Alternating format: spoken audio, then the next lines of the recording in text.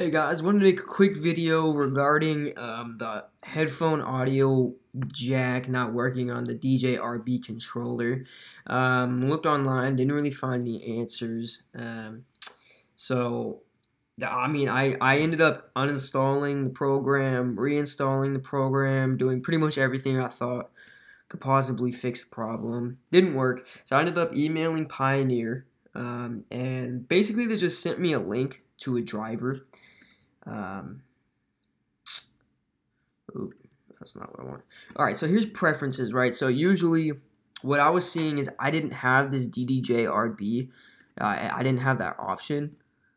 Um, it would just say built-in output, and that was the problem. Um, it, it's not just built-in output. You need to have the DDJ, the DDJ RB, uh, this this little thing for it to work.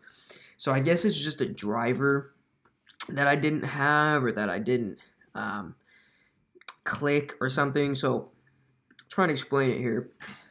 They sent me a link to this uh, th this zip file here, which is the audio driver installer, and then they also sent me the uninstaller, or I guess it came in the zip, um, which I'll leave a link to in the description. And then they also sent me this troubleshooting the file, which is pretty much just the instructions on how to do it, which I would recommend also downloading that and taking a look through that. I'll put that link in the description as well. Um, when I did, basically I uninstalled everything using this. Uh, it doesn't uninstall the program. Uh, I think it just uninstalls the, uh, the driver, um, but not all of the drivers. So when you go into rekordbox and you click on driver, this comes up, right? I had a bunch of other drivers, so I, I deleted all those. I believe you really just need this. Um, I have these other two, which, uh, I, and these are the same, obviously, but um, I think you really just need this one driver. So if you have a bunch, I would just delete all of them. That's what I did at least, and uh, just have that one in this in this drivers file. But um, for you guys, oh, where'd it go? Basically, just use this uninstaller. Um, do that.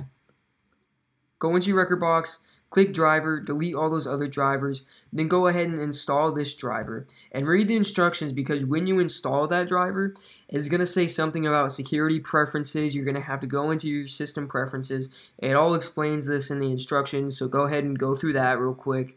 Um, basically, you just have to allow it to, to use your mic or uh, I don't think you have to mess around with the firewall or anything. Uh, it's something else, but read the instructions. Go ahead and um, it, it, will uh, explain that. So, you know what? I'm just going to show you guys the instructions actually. Oh, shit. So yeah, it's uh, th this general thing will come up, and all you have to do is just press allow right there, and then it will ask if you uh, if it can use your laptop's mic or whatever. Uh, go ahead and accept that, of course. And you guys should be good. If you have any questions, go ahead and leave it in the comments. Um, that should work though. Um, should work. So, and when you're installing this, go ahead and leave your controller unplugged. I don't know if that really matters at all, but um, it it kind of didn't want to. I was kind of having problems when it was installed or when the controller was plugged in. So I don't know. I would just leave it leave it unplugged. But once you install the driver, go ahead and plug it in, and this thing should should come up just like it did for me. Alright, so hopefully that helps. Uh, you know, I didn't see any videos addressing this or anything. I didn't see any uh, answers really. So they sent me this link. Go ahead and download that link. Uh, uninstall everything. Delete those files. Follow the instructions and you guys should be good. All right.